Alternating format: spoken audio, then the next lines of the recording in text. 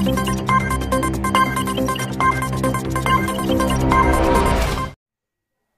Evening latest update ये है कि उत्तर प्रदेश की हाई स्कूल और इंटरमीडिएट की बोर्ड परीक्षा में पचपन लाख स्टूडेंट्स ने भाग लिया था।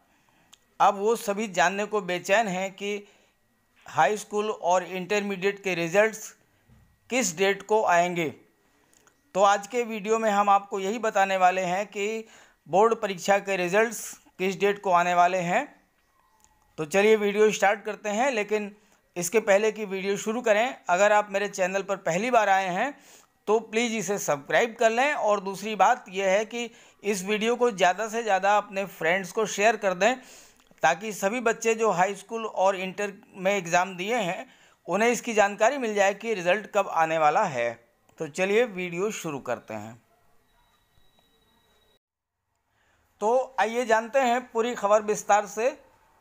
यूपी बोर्ड की दसवीं और बारहवीं के छात्रों के लिए अच्छी खबर है। दोनों कक्षाओं की बोर्ड परीक्षा का परिणाम 27 जून को घोषित किया जाएगा।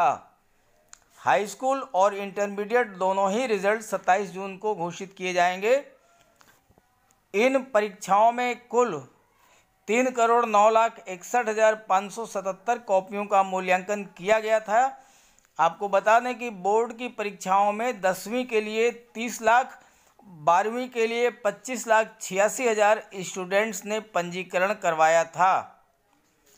यानी कुल मिलाकर के लगभग पचपन छप्पन लाख स्टूडेंट ने पंजीकरण करवाया था। कोरोना महामारी के चलते कापियों के मूल्यांकन में देरी हुई है। जानकारी के मुताबिक रिज़ल्ट दोपहर बारह तीस पर U P M S P dot E D U dot in और U P results dot N I C dot in पर जारी किया जाएगा। तो डेट आप नोट कर लीजिए सत्ताईस जून।